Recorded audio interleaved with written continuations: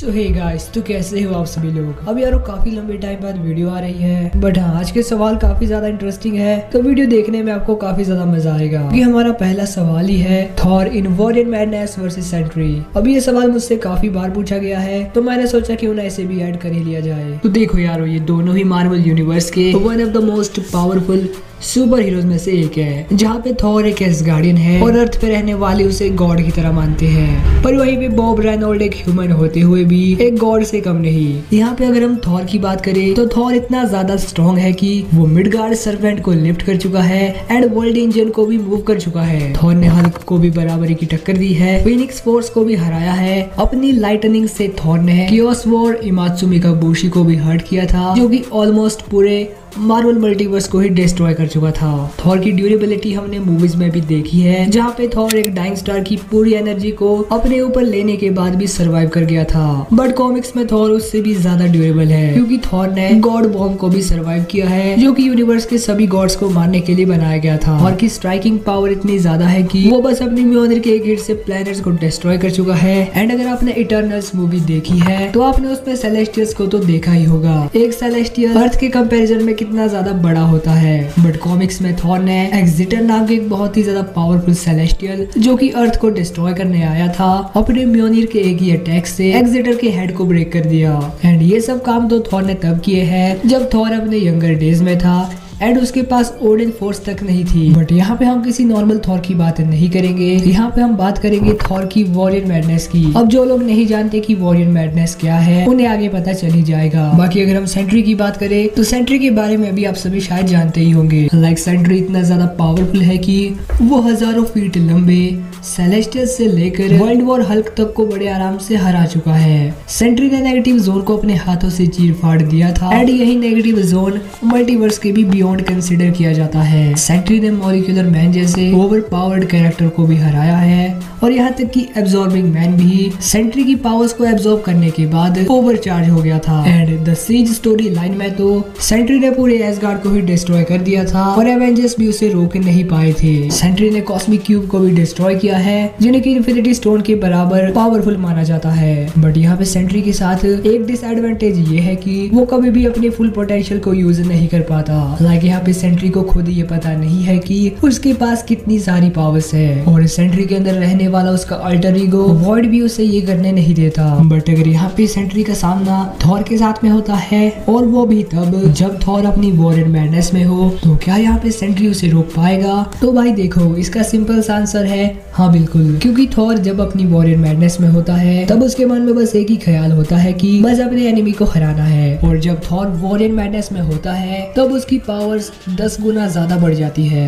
But यहाँ पे Thor का सामना किसी नॉर्मल सुपर हीरो से नहीं हो रहा है। उसका सामना हो रहा है यूनिवर्स के सबसे पावरफुल सुपर हीरो सेंट्री के साथ में। और यस यार सेंट्री इतना पावरफुल है कि वो थॉर को उसकी वॉरियर मैडनेस में भी संभाल सकता है। क्योंकि थॉर की वॉरियर मैडनेस भी ज़्यादा टाइम तक नहीं रहती। एक टाइम पे थॉर खुद ब खुद अपनी वॉरियर मैडनेस से बाहर आ जाता है। अब हाँ ये बात तो है कि बैटल काफ़ी ज़्यादा लंबी चलेगी। पर at the end of the day Sentry Thor को काबू कर ही लेगा।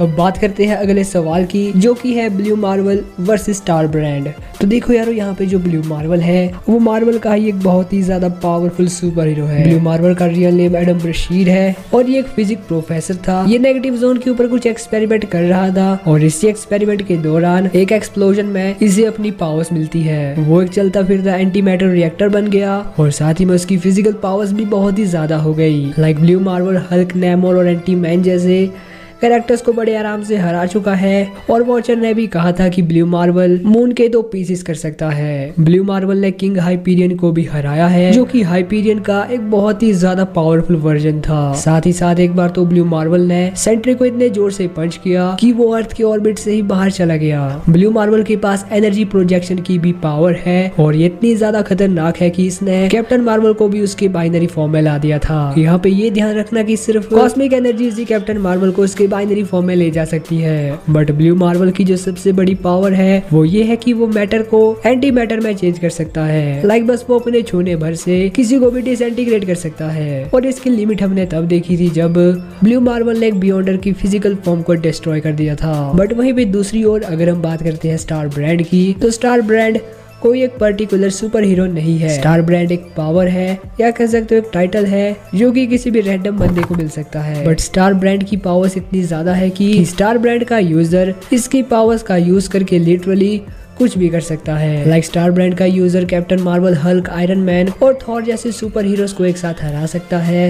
एंड यहाँ तक की रियलिटी को भी चेंज कर सकता है। बट स्टार ब्रांड की असली पावर्स हमने तब देखी थी जब स्टार ब्रांड की पावर्स का यूज़ करके लिटरली एक बियॉन्डर को मारा गया था। वहाँ पे एक टीनेजर के पास स्टार ब्रांड की पावर्स थी और उसे खुद ही आइडिया नहीं था कि उसके पास कितनी सारी पावर्स है और उन्हें वो कैसे यूज़ करे? बट क्या ब्लू मार्वल स्टार ब्रांड को हरा पाएगा? चलिए जानते हैं। अब देखो यारो, यहाँ पे ये दोनों ही सुपर हीरो काफ़ी ज़्यादा पावरफुल है लाइक इन दोनों ने ही बियॉन्डर्स को मारा है। बट यहाँ पे ब्लू मार्वल ने बस एक बियॉन्डर की फ़िज़िकल फॉर्म को डिस्ट्रॉय किया है, ना कि एक रियल बियॉन्डर को मारा है। वहीं पे स्टार ब्रांड की पावर्स का यूज़ करके लिटरली एक असली बियॉन्डर को मारा गया है।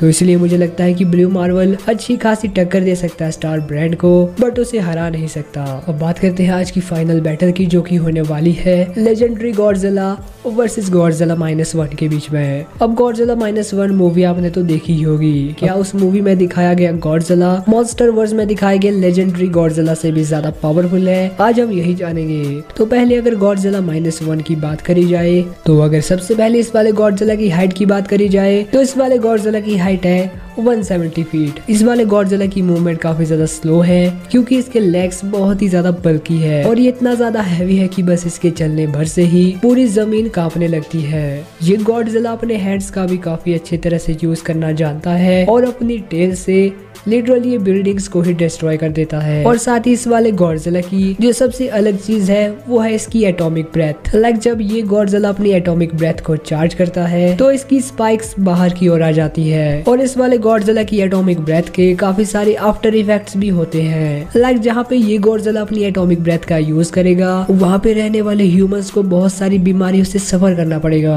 और इवन वहाँ पे ब्लैक रेन होना भी शुरू हो जाती है। एंड साथ ही गॉडजिला माइनस वन की रीजनरेशन पावर्स भी बहुत ही ज़्यादा खतरनाक है। ये अपनी बॉडी के कटे हुए पार्ट्स को ऐसे रीजनरेट कर लेता है। Like as if nothing had happened and अगर हम लेजेंडरी गॉडजिला की बात करें तो लेजेंडरी गॉडजिला भी बहुत ज़्यादा पावरफुल है। इस वाले गॉडजिला की हाइट 390 फीट है गॉडजिला माइनस वन के कंपैरिजन में लिटरली दो गुना ज़्यादा हाइट को लेजेंडरी गॉडजिला होल्ड करता है। और साथ ही साथ ये भी बहुत ही ज़्यादा ड्यूरेबल है लाइक ये न्यूक्लियर बॉम्ब्स को भी सर्वाइव कर सकता है। और साथ ही साथ लेजेंडरी गॉडजिला ने मॉन्स्टर वर्स में म्यूटोस किंग मेगा गॉडजिला और यहाँ तक कि कॉन्ग को भी बीट कर रखा है। अपनी एटॉमिक ब्रेथ से गॉडजिला ने अर्थ से होलो अर्थ तक लिटरली एक टनल बना दी थी। और साथ ही Godzilla King of the Monsters movie में हमें लेजेंडरी गॉडजिला की बहुत ज़्यादा पावरफुल फॉर्म भी देखने को मिली, जिसे की बर्नी गौरजला के नाम से जानते हैं। बट अगर लेजेंडरी गौरजला का सामना गौरजला माइनस वन से होता है तो यहाँ पे बहुत ही सिंपल बात है की legendary Godzilla Godzilla minus one को हरा सकता है। क्योंकि सबसे पहली बात तो हाइट की है। लिटरली लेजेंडरी गॉडजिला की हाइट गॉडजिला माइनस वन के कंपैरिजन में दो गुना ज़्यादा है। और साथ ही हमने लेजेंडरी गॉडजिला को बहुत सारी मूवीज़ में देखा है। एंड अदर मॉन्स्टर्स को भी हराते हुए हमने देखा है लेजेंडरी गॉडजिला को। बट गॉडजिला माइनस वन ने किसी दूसरे मॉन्स्टर के साथ फाइट ही नहीं की है। और बर्निंग गॉडजिला की तो अभी हमने बात ही नहीं की। और इसी के साथ Godzilla x Kong new empire में हमें पिंक गॉडजिला भी देखने को मिलने वाला है। और हो सकता है कि पिंक गॉडजिला और भी ज़्यादा पावरफुल हो तो इसलिए यहाँ पे गौर ज़्यादा माइनस वन के तो चांस ही नहीं बनते। अगर आपको वीडियो पसंद आई हो तो यार लाइक करना, नए आगे हो चैनल पर तो सब्सक्राइब ज़रूर ही करना। बाकी मैं मिलता हूँ आपसे किसी और दिन, किसी और वीडियो के साथ, तब तक के लिए बाय बाय